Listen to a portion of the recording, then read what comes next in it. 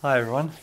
I've been asked by many people, where do I get my lovely t-shirts from? And I'll put a link in the description. They're made by a friend of mine, a dear friend, Jim MacAirt, in England. And he runs a lovely site called This Is Not Zen. Anyway, lots of, lots of good stuff to be had there.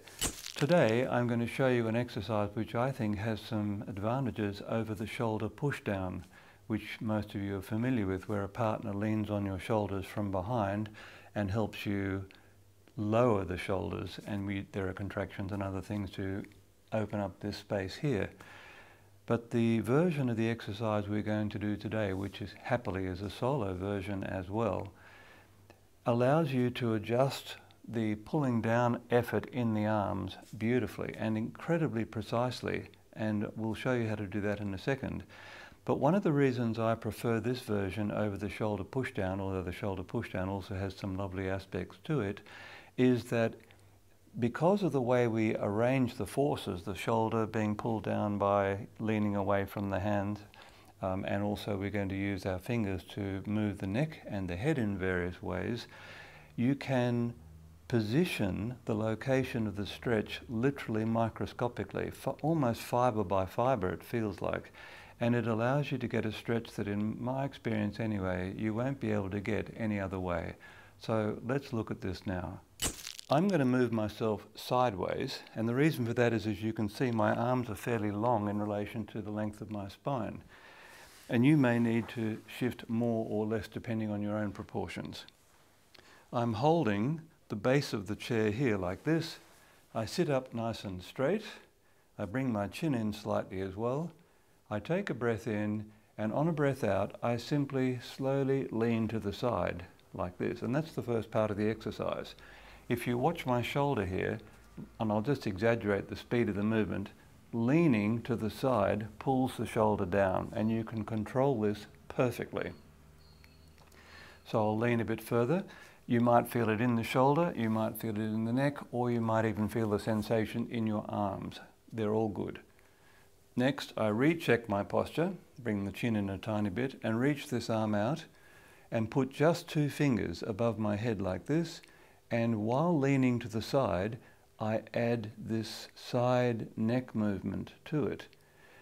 Adding the neck movement to it concentrates the stretch in the neck beautifully. And notice I just turn my head a little bit. I'm actually searching for today's tight line. And today that line is here, so I'm sort of looking in this direction. Now, that is it. Okay, I'm going to give you all the contractions now in detail. The first contraction is I'm trying to lift the base of the seat up, as in pulling up on my arm like this, but because I'm leaning to the side, nothing happens. It's an isometric contraction, in other words. Three, two, one, stop. I breathe in, I let my tummy go completely soft. I breathe out. I breathe in again, and I move body and arm and head to the side like this. That intensifies it hugely, even though I only moved a few millimeters. I get used to that sensation. Then, against these two fingers, I press my head back to the upright position. Again, nothing moves if you're doing it properly. Three, two, one, stop. I always take my fingers off the head completely in between while I'm breathing and relaxing. Breathe in, let the tummy go soft, breathe in again, and watch very carefully add this additional neck movement to the first position. I'm also moving myself backwards and forwards very slightly to put the stretch in exactly the position I want it now. Also, if you've been stretching for a while, you can add both contractions together. So let me show you what that looks like. I'm shrugging the shoulder and I'm pressing the fingers or pressing my head into my fingers, I should say. So two contractions together. I stop, take a breath in, let the tummy go soft, take another breath in, and watch lean further away as well as take the head further to the side and you can probably see that gentle contraction increase the position, the end position, considerably. And I breathe in and out, and you'll notice that as I breathe in, the body comes upright slightly, and as I breathe out, we go a bit more to the side, and that increases the stretch as well. Absolutely lovely. Now watch, I'm going to move the fingers around to the back of my head, or at least halfway between the back of the head and the side, and watch, I'm going to look down now. I'm aiming here, and I'm going to explore between here and here. So just watch, like this. I lean a bit further to the side. I turn the head so I'm looking at the inside of my right leg, and I can do those contractions again together or separately. And that now makes us into a very strong levator scapulae stretch. It's absolutely exquisite. And if you can let yourself relax as I'm doing now, you'll see the shoulder we pulled further down and back, also enhancing the stretch. That's enough on this side. So I run my fingers over to my forehead like this and lift the head up with my fingers. It's just being nice to yourself. It feels very gentle to come out of the stretch that way. And let us do the second side. So I move my hips across. I'm really only sitting on the chair with one hip.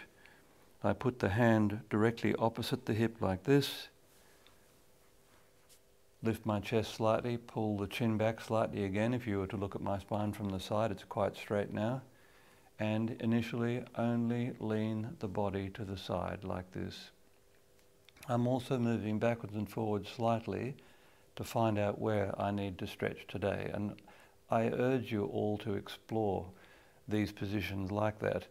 When Liv or I show you an exercise, it's really just a template. It's the shape of it, the form of it, how to get the forces you need and so on. But the gold comes in when you actually explore small repositionings inside that larger template. And that's what I'm about to do now. I'll reach this arm out very gently. Oh, yes, I found a sore spot today. I found it by lifting my chin up, surprisingly, not by lifting it or taking it down. I lean to the side like this. Again, still just two fingers on the side of the head, but there is no great force involved here at all.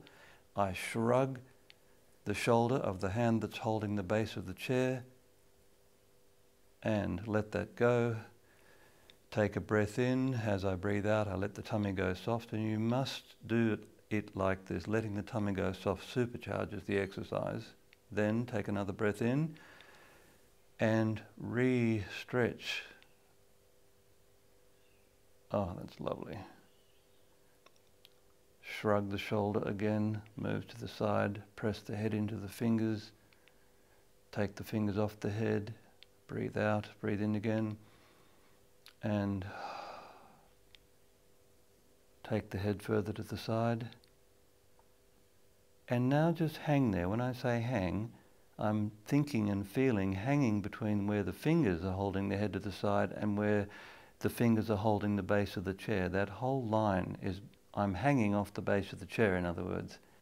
If you want to make the stretch even stronger, then once you've done the restretch by drawing the head across away from that shoulder, you can use the muscles under your arm to pull the shoulder down yourself. Just watch, it's, oh, that's massive. A bit of extra movement, then you move the whole body and head away from the hand holding the chair, that little extra bit, and you've just managed to stretch yourself using the lats, in fact, to stretch trapezius and all the other muscles we're working on. It's fantastic.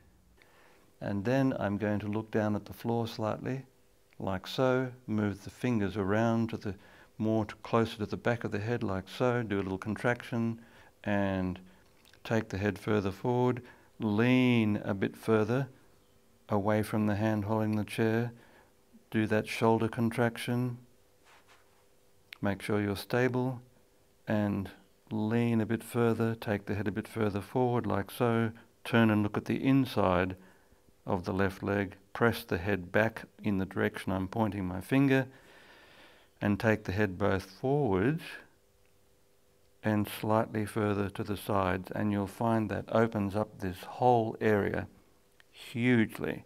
And then once you're there, you can make these little movements like this to find out whether there's anything more you can get out of this position.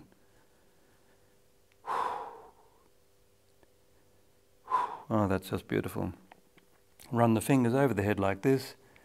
Slowly lift the head up. Sit back in the center of the chair. And to finish off, I always do the same things. I just wriggle the shoulders around, shrug them strongly a couple of times, pull them down, and then look all the way around as far behind me as I can. Slowly come back and all the way around this side as far as I can. Now I'm a bit tight today, but I, can, I know that I can see as far behind me on this side now as I can on the other side. And so that's it.